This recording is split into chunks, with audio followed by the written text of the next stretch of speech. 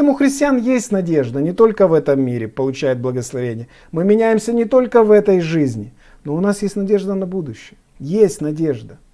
Не теряйте этой надежды. Не меня, не променяйте эту надежду на чищевичную похлебку.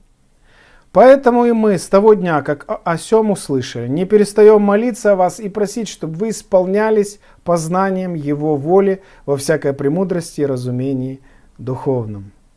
Вначале он благодарит, потом говорит, ну как услышали о том, что вы уверовали, так мы начинаем молиться теперь и просить, чтобы Господь дал вам что? Машину, квартиру, финансы, работу? Нет. Нет, это все не нужно. Ну, в смысле, оно нужно, но это все прилагаемо. Главное, чтобы ты имел, о чем апостол Павел молится за тебя и за меня, чтобы ты исполнялся познанием воли Его.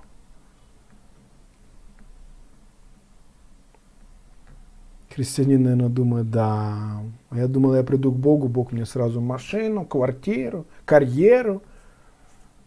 Ты не о том думаешь, не, не, не тому Богу служишь если так думаешь, что Бог тебе на тарелочке все это даст. Не в этом смысл. Жизнь человека не зависит от изобилия его имения, написано. Поэтому ты должен устремляться к духовным вещам в своей жизни. Ты должен думать о том, как исполниться познанием воли Божьей. Ты понимаешь? А что такое воля Божья? Тоже хороший вопрос, да?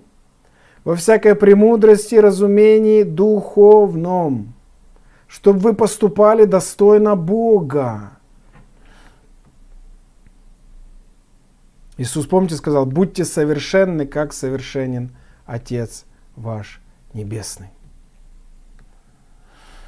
Владислав пишет, Бог это же не банк. А некоторые именно так и представляют, особенно там в харизматических общинах. Я вкладываю в небесный банк. Что ты там вкладываешь? Куда? Не позорься. Хоть бы уже молчал. Ой. Понимаете, если человек, у человека теология это только деньги и финансы, то все понятно с ним, какому Богу он служит. Все. Его кроме этого больше ничего в жизни не интересует. Деньги. Да может давай поговорим о чем-то духовном? Нет, деньги. Вот что меня интересует только. Зачем они тебе нужны, когда ты отправишься в вечность, у меня вопрос. Ты же знаешь, что будет с этими фантиками.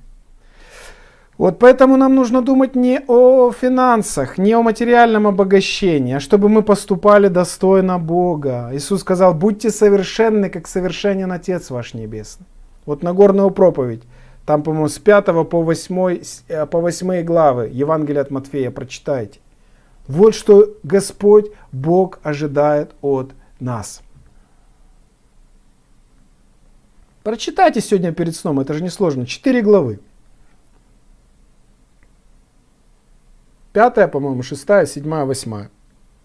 И вы посмотрите, что такое христианин и чего ожидает Господь от нас укрепляясь всякую силою, по могуществу славы Его, во всяком терпении, великодушии с радостью, благодаря Богу и Отца, призвавшего нас к участию в наследии, наследии наше жительство на небесах, помните?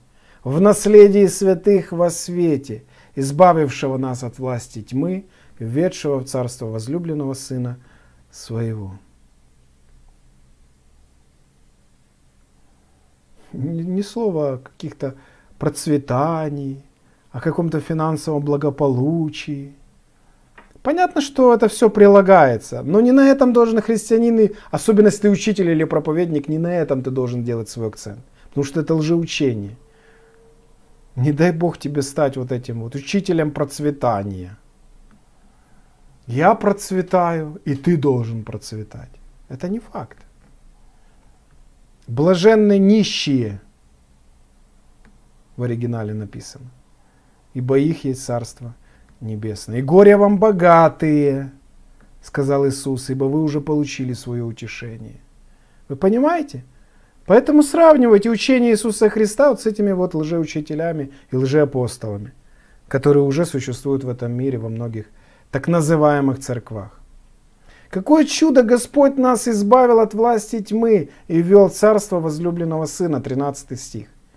А мы, как какие-то, знаете, аборигены, у нас идея фикс, как бы нам разбогатеть. Да ты должен думать, как тебе душой разбогатеть, а не финансами. А если тебе Бог что-то дает, так передавай дальше, пускай хлеб по воде.